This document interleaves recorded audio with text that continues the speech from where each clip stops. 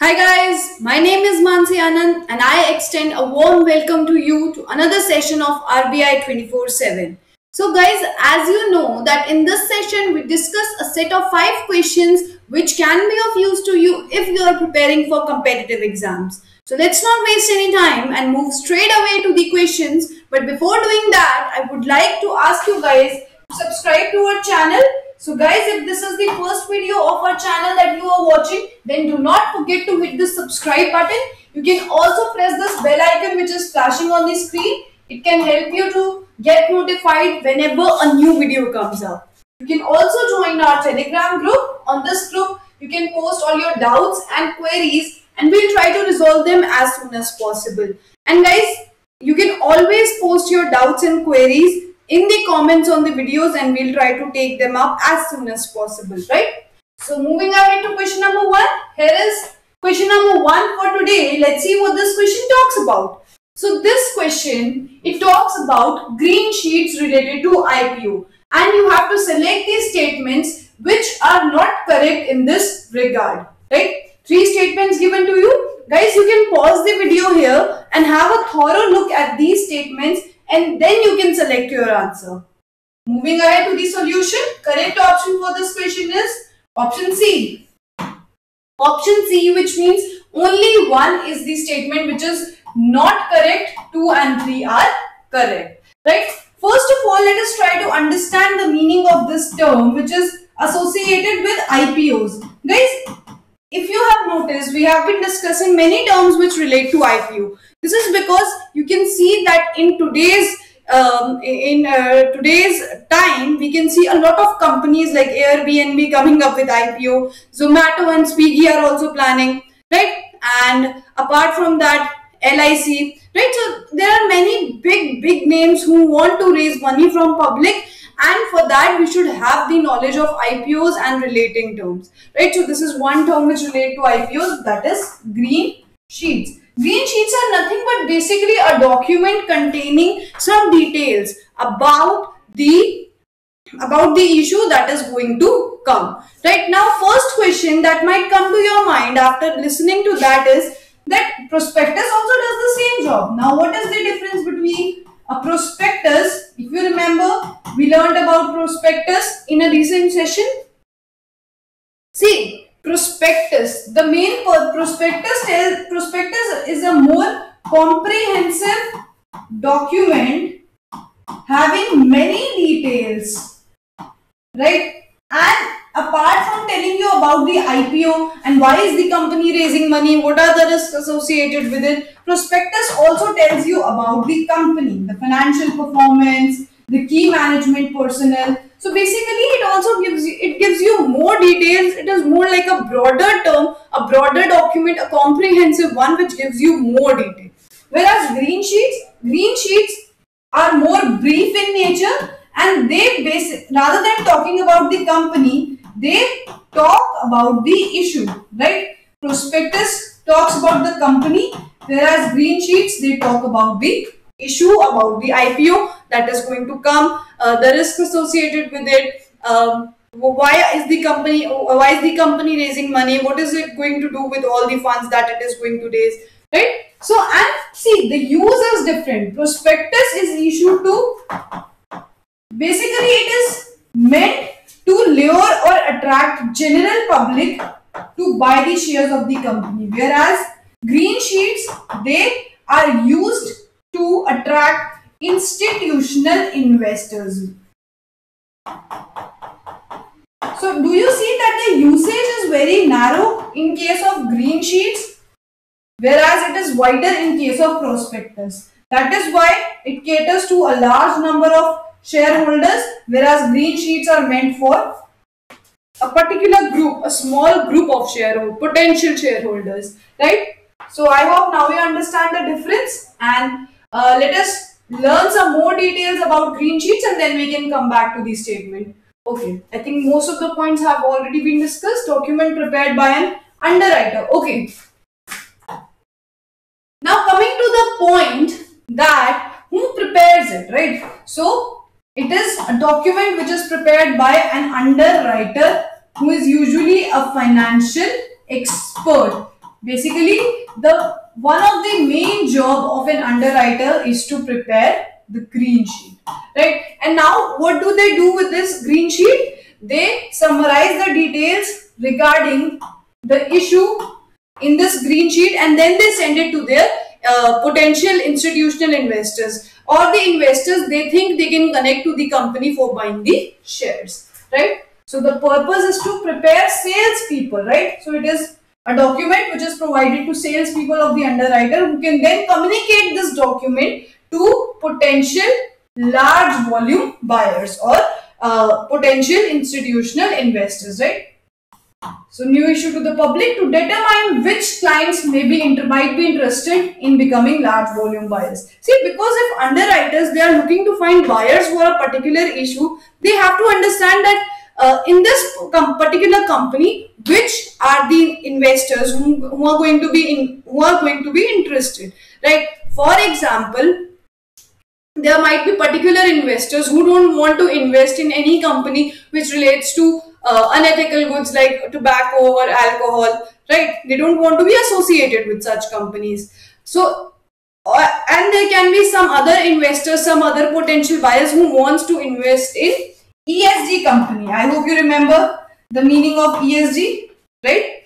So, depending upon the type of company, they prepare a, a brief document called green sheets and it helps them to communicate the information regarding the issue to the potential buyers who might be suitable for the company right? So to equip their sales people they produce this document.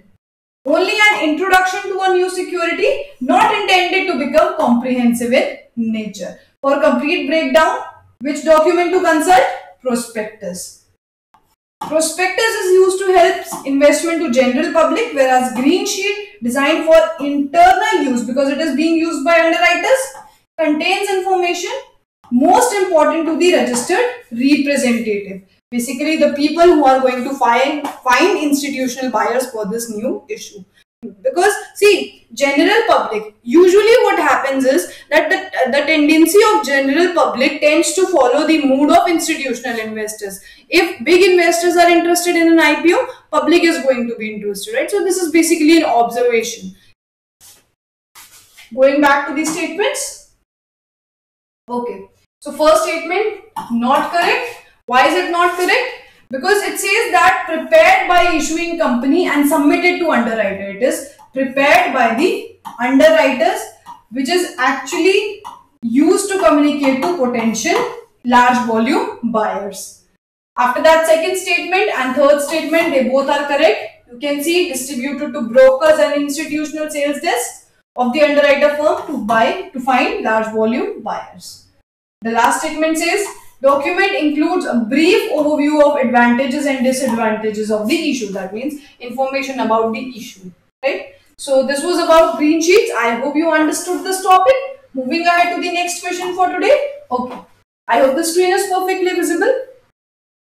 Okay, this question says, following are some details given to you in relation to different markets. According to you, in which of the following situations bargaining power of buyers will be strong? So guys, uh, do read the question carefully. You have to tell where bargaining powers of buyers is going to be strong out of these three situations. Right? You can pause the video here and have a look at this, these three situations carefully and then move ahead with your answer. Moving ahead to the solution and the solution says that the correct option is E. E means 1 and 2. This means in situation 1 and situation 2, the bargaining power of buyers is going to be high, whereas in third, it is going to be weak. Why is this so? Let us first understand the concept and then come back to the question. Okay. What do we what do we mean here by bargaining power?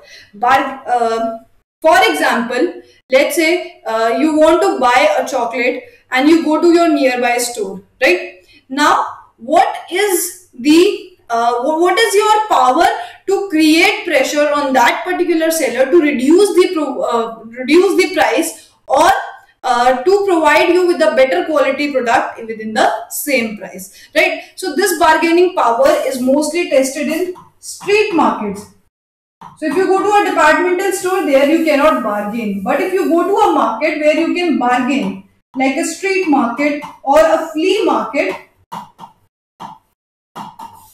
it depends upon you that how good you can bargain, how good you can put, how, how much pressure you can put on the seller to reduce the price for you or to provide you with a better quality product within the same price range, right? So the, there are some factors which decide that whether the power of buyer is going to be higher or power of seller is going to be higher. And what are these factors? Let us study about them.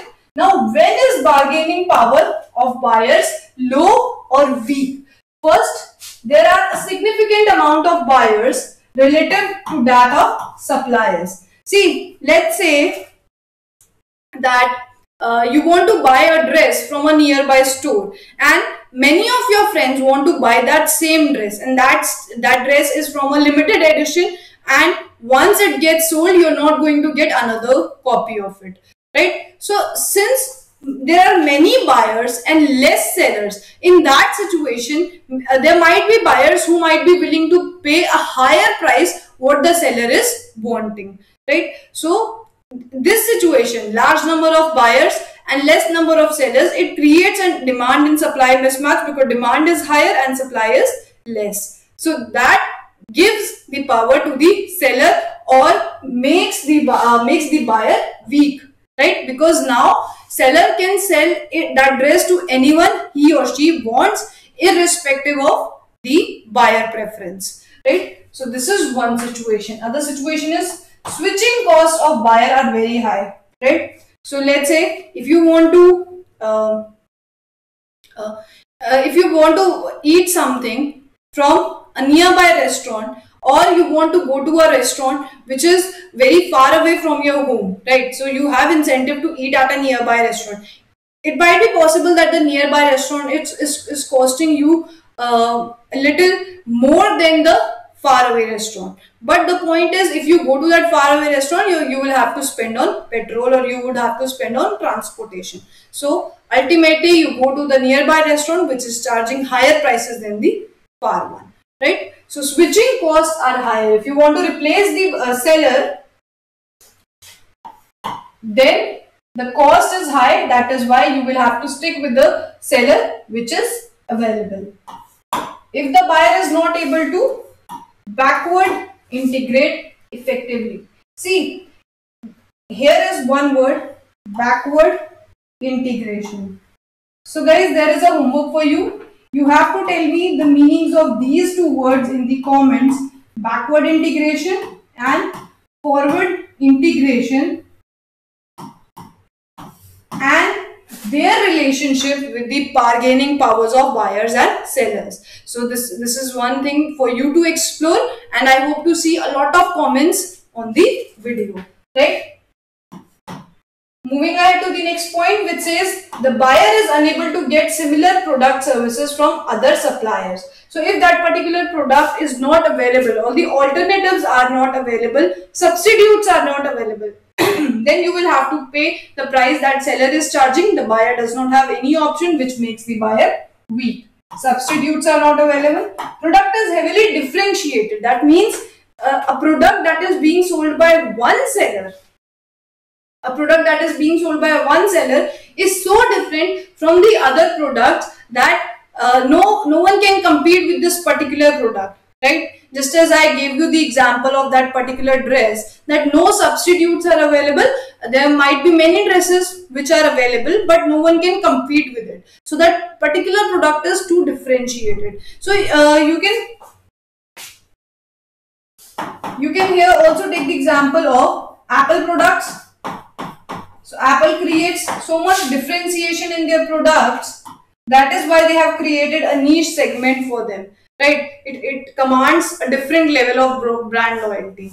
So product is differentiated and product is somewhat very different and no other supplier can provide the same product. So these are the situations where the buyer is weak.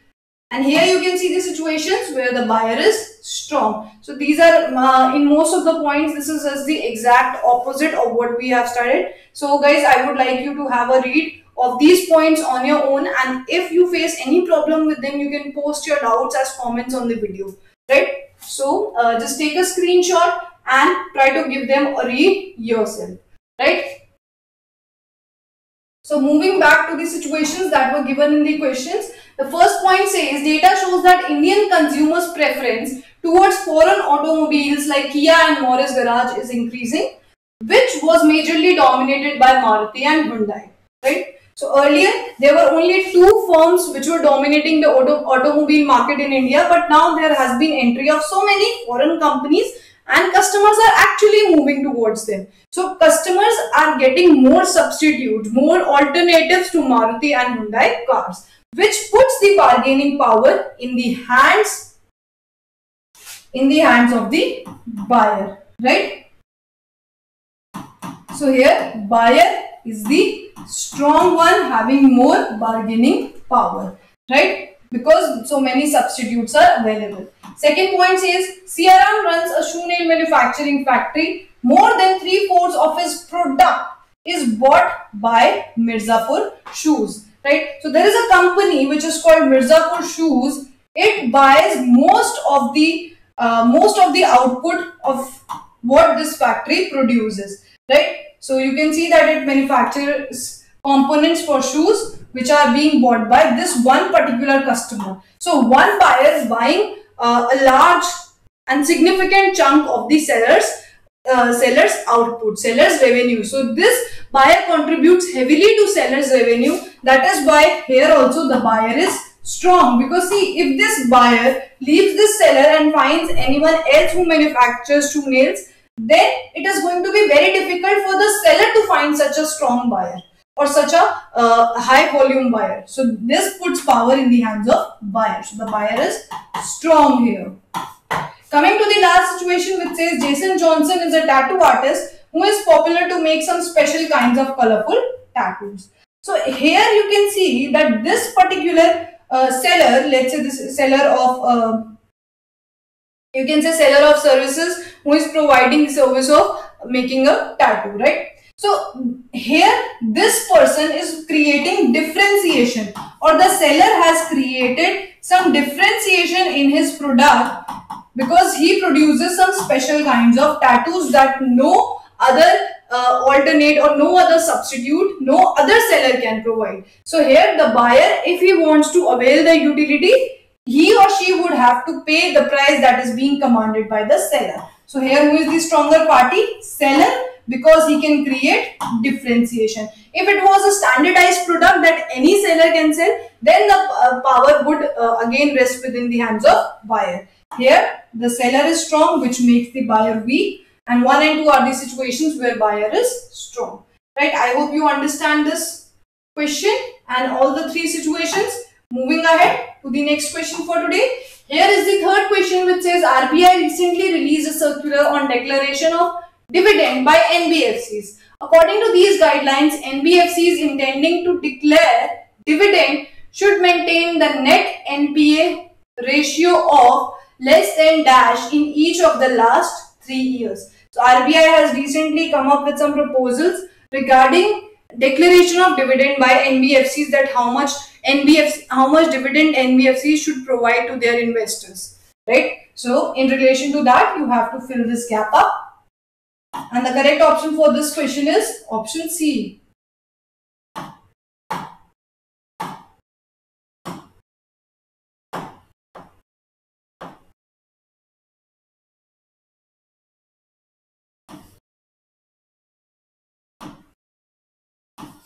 option C right? Guys, due to some technical error this slide is missing. Don't worry because this uh, the uh, the data which was mentioned here that uh, you can find on RBI website or I can put it up in the next session right? Due to some technical issue it has been missing here.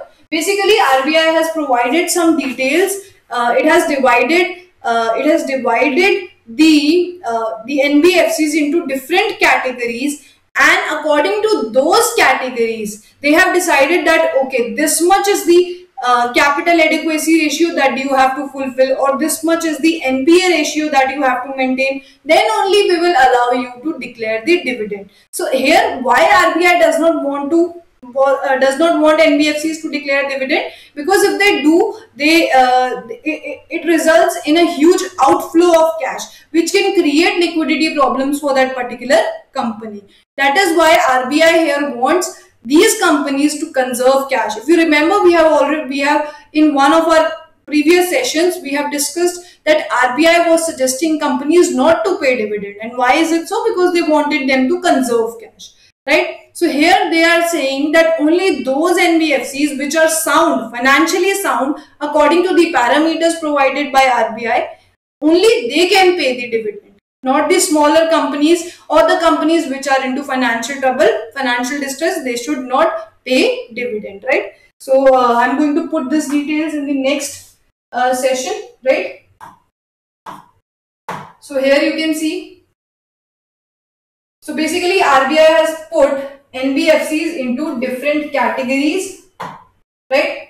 And according to that category, they have produced a matrix right? So if an NBFC who belongs to category A and has an NPA ratio of 0 and 20 per, and it has maintained a capital adequacy ratio of 20% or more for the last two years, it can have a dividend payout ratio. If you remember, we have discussed this ratio in one of our previous sessions. It can provide dividend payout ratio of about 50. It can have a dividend payout ratio of up to 50%. So in this way, you can read uh, all the companies. First, you should know that which is the category that NBFC belongs to. And that category is going to give you the percentage for capital adequacy norms. And then you have to match it up with net NPA ratio. That will give you that how much dividend payout ratio can the NBFC have. Right. So this is the matrix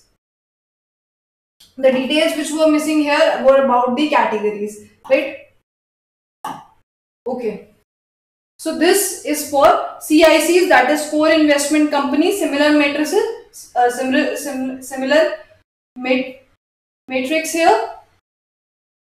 In the similar way, you can read this one also, right? So this is for core investment companies and this is for NBFCs belonging to other category, right?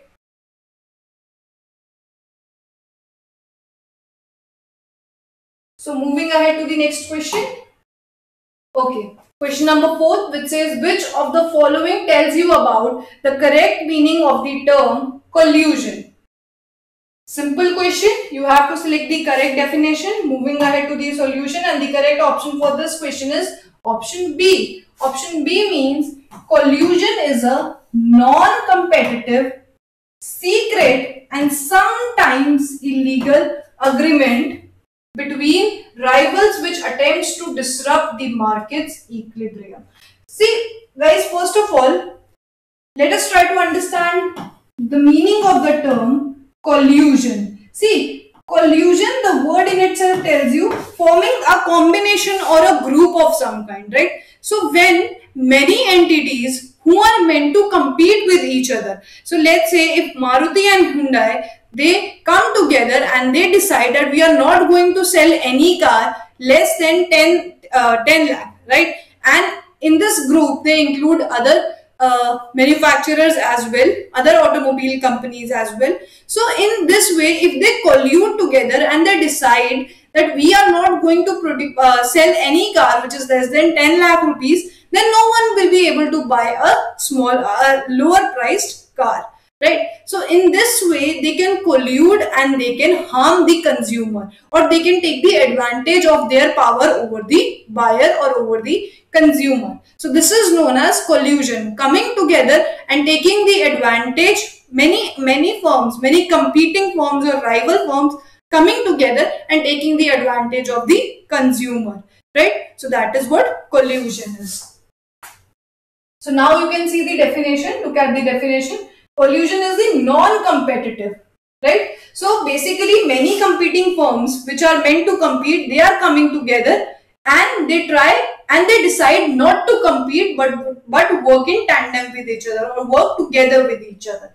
So non-competitive because they are not competing under this agreement. Secret, they don't want uh, others to know about it. They don't want, especially they don't want the consumers to know about it. So that is why such type of agreements are kept secret. And sometimes it is also illegal because it can have a harmful impact on free competition in the market. See, regulators would always warn that in market there should be as much as competition possible because if there is competition, it is better for the consumers. Why is it so?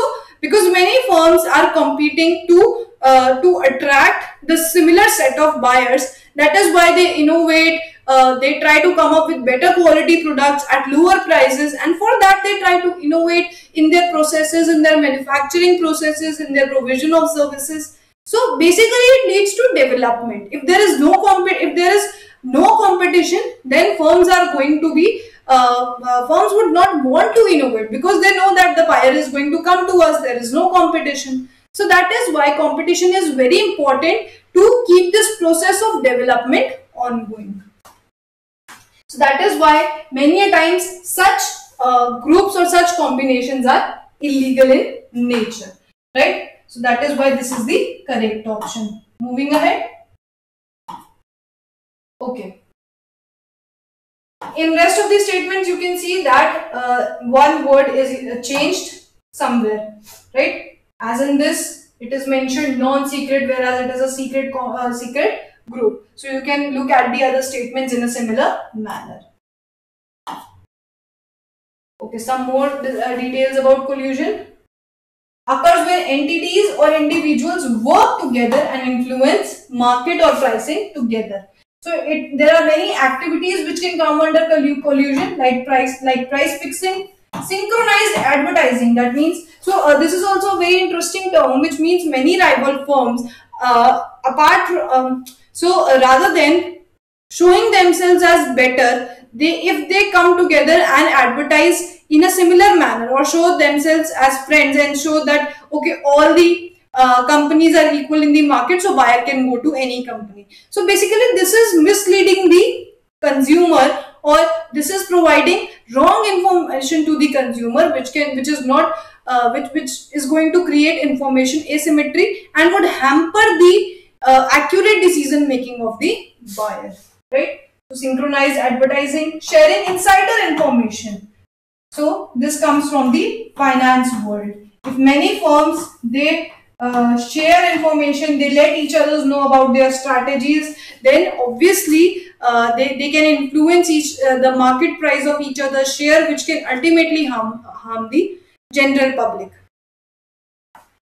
Antitrust laws are there so that no one forms such collus uh, such collusions. Whistleblower policies. Whistleblower is someone who comes out in the open and tells that something bad is going on in this particular entity. So we bad, especially India badly needs whistleblower laws so that we can uh, we can prevent the wrongdoings in the companies. Defection is another key deterrent of collusion company which initially agrees to take part in collusion. See, defection in one is one uh, one factor, one thing that can prevent collusion. What is defection? Uh, any company who initially agreed to be part of collusion then goes back and says that uh, I'm not going to be part of this group and I'm going to price my products myself and I'm not going to follow the rules that group members have to follow, right? So if one company goes back, that breaks the collusion, that breaks the unity of rival firms, right? So this is collusion. So recently there have been news that CCI, Competition Commission of India, has been probing some firms who are uh, who have allegations of collusion on them. So you have to tell me that which is the industry in which CCI is, is probing. Basically, they are looking for colluding firms in one particular industry and you have to tell me that which is it. Right? So, do mention it in the comments. Moving ahead to the last question for today. Here is question number 5 which says Mr. Tony Stark is an investor in stock market but he uses his own methods to do so. He believes in going against the mood of the market. So if it is predicted that market is going to move upwards, he starts selling and he does the opposite. his friends have always bashed him for this, but he has generated handsome returns out of it. What type of investor do you think Mr. Stark would be? Right, simple question. Moving ahead to the correct option. And the correct option for this question is option D, that is contrarian investor. So contrarian comes from the word contrary, which means opposite or on the other hand. Right, so I think it's a very simple uh, simple case which is given to you any investor that goes against the mood of market if people if majority of the investors are buying this investor this contrarian investor is going to sell. And if majority investors are selling this contrarian investor is going to buy. So goes against the tide goes against the mood of the market. That is why it's called a is called a contrarian investor. Right Okay, investment strategy, investors purposely go against the prevailing market trends. See, this is also a risky strategy because sometimes it might be beneficial. For example, when the share prices, when the share market fell at the outbreak of coronavirus after it started rallying, it started rallying when coronavirus settled. But when uh, when it erupted, when the virus erupted, stock market fell rapidly. And those investors who bought in that time they earned really handsome returns when the market rallied and they booked high profits right? So this this can be beneficial but has to be done with utmost caution. So believe that people who say market is going to up is going up so do only when they are fully invested and have no purchasing power at this point market has, is at peak. So this investor believes that if everyone is telling that market is going to go up, up, that means everyone has invested and they have no purchasing power left. If there is no purchasing power, they cannot push the market upwards. It is going to go down. So these investors, they realize that market is at peak and if you sell at this time, that is going to be a high point when everybody is buying, right? Same goes for the downturn when people predicted a downturn, they started buying because they think market is going to go up now. Enters the market when others are feeling negative about it. Right, built around the idea that herd instinct that can take control of market direction does not make for good investment strategy. So this contrarian investor believes that herd instinct is not a good investment strategy. What is herd, herd instinct? Following what others are doing, following the herd, following the group or following your peers. So if others are buying, I'm also going to buy. buy. That is herd instinct. But the contrarian investor does not believe in herd instinct, thinks of it as a bad investment strategy. So contrarian investors often target distressed stocks or stocks whose valuations are beaten down due to some rumors or stocks who they think as undervalued and then sell them once they start gaining value. So guys, these were the five questions for today. I hope you learned something new from this video and at the end I would like to tell you one quote by one of the most famous contrarian investors of all time. Okay, the quote says, be fearful when others are greedy and greedy when others are fearful. So I hope you understand the meaning of this quote and its relation to contrarian investing strategy right? So i will see you in the next session. Until then you guys take care of yourself and keep your studies going on. And thank you for being here